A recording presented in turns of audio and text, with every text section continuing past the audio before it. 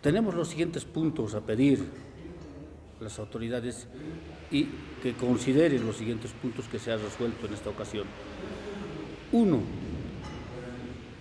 no vamos a permitir que el Always Ready juegue en otro estadio que no se, sea en nuestro estadio municipal El Alto, de Villa Ingenio. Dos, como juntas vecinales se garantiza que los partidos se jugarán de manera normal y que no habrá actos de violencia, siendo que nosotros, los vecinos,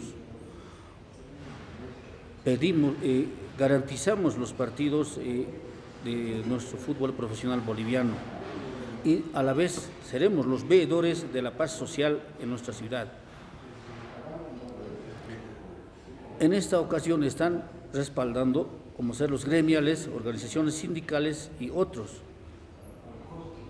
Y el otro punto, que los hechos sociales y los conflictos sociales están en otro extremo, en Sencata de nuestra ciudad del Alto, y no así en el sector norte donde se encuentra el estadio eh, de Villa Ingenio.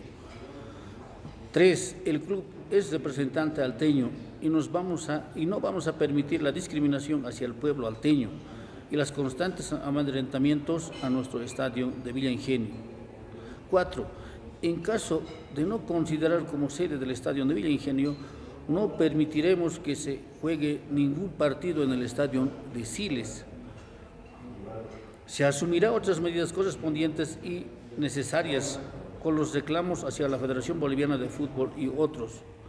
Esperemos que todos estos pedidos sean considerados por nuestras autoridades del fútbol profesional boliviano. Muchas gracias.